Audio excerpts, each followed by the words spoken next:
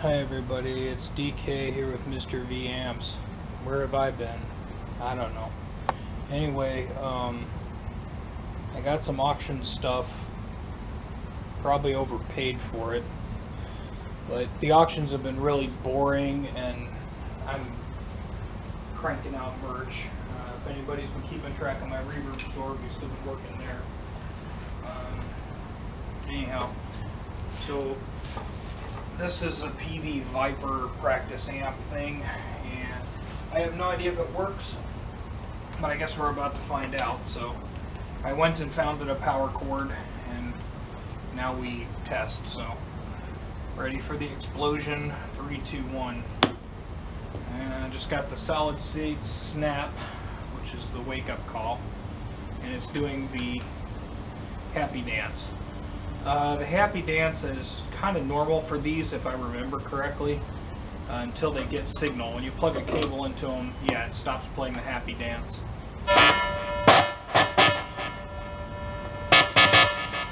Okay, so it's on the high gain. Okay, so you can pick your amp and there's effects apparently in place here. Yeah. So there's like different amps and then there's like high gain versions. Let's see.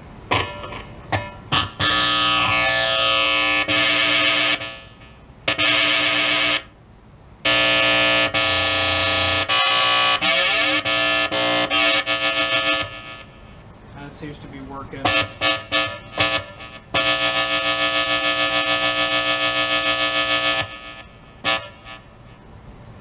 Except for let's see. Now some of these encoders are kind of working and some of them don't look like they are. The heck? Okay so some of these encoders aren't working so hot. Like the high let's see the high one it kind of doesn't really want to work so good see. Yeah, so these aren't working so hot like they're... These are like rotary encoders or something. And they seem like they're trying to work. But in general, I guess the amp kind of works.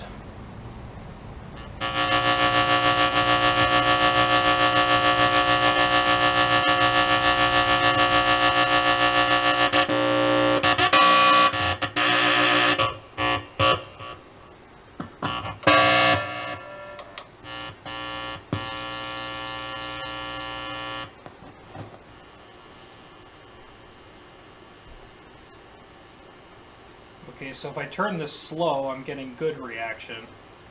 If I turn it fast, I'm getting rubbish. So if I turn them slow, they seem to want to work. So that's good.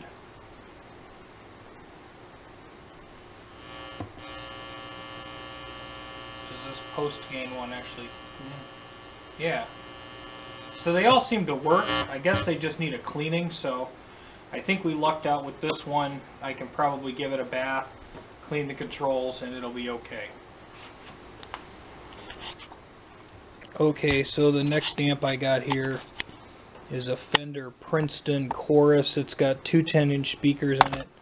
Some moron broke the three pin, or broke the third pin off the electric plug. So we'll have to deal with that. But I suppose we can see if it works.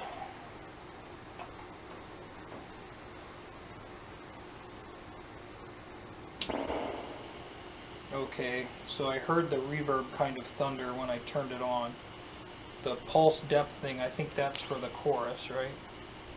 You can turn it on or off.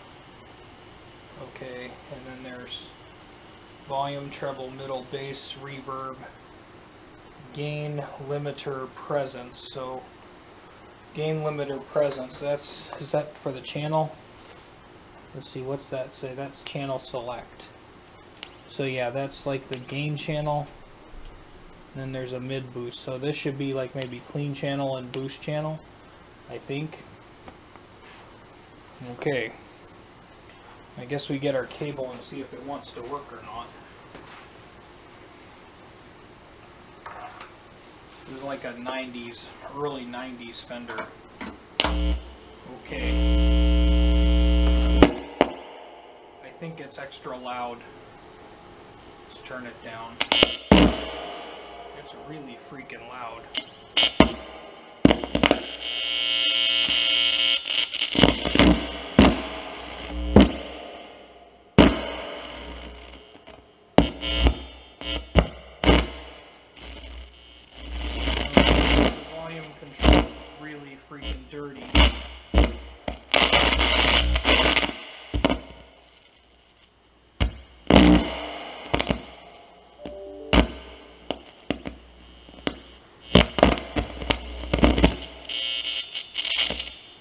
See if input 2 is less noisier.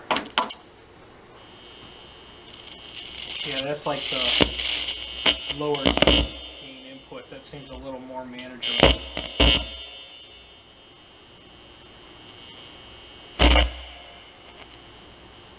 These pots are really filthy. I mean, really filthy. And we can try like that's the high gain channel.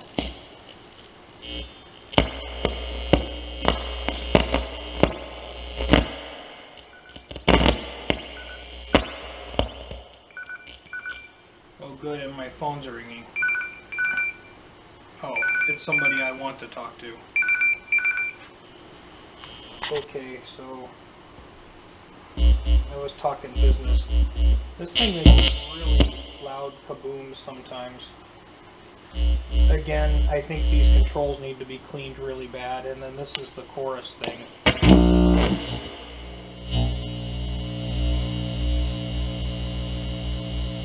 Yeah, that seems to work.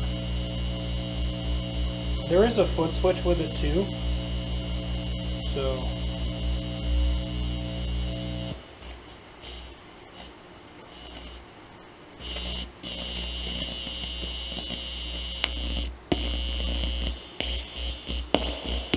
reverb works. And it's apparently loud as frig, so uh, yeah, this is another chirp to you too. Um, this is another probably not lose from the auction, so so far we're doing okay. Um, let me know. I'm just going to post this as is, just for fun. Um, but let me know if you actually want to see the process of servicing these to get them ready for sale. Okay, and then there's this thing. Fender BXR 100. Um, broken pot, pot missing a slider thing, or missing a knob. We fixed one of these a long time ago. This one's like the cord restraint to keep you from ripping it out of the back is missing out of the back. Alright, let's see what this does. Nothing. Zero zilch. Nothing. So, considering that the cord restraint. Whoa, crap. Okay, so I would say the power cord is not well connected inside or something like that. So we should probably look at that. So the cord here, the strain relief was missing. I'm sure it's been ripped or cut or something, but wiggling it did make a big sparky inside. Hooray. So yeah, the cord inside of here is torn. Hopefully there's nothing else severely wrong with this thing. I hope not. Otherwise it's parts. But we've fixed these before. So two for three, we have things that should be very straightforward to service, and then this is a big question mark, so we'll get to it. Let me know what you think.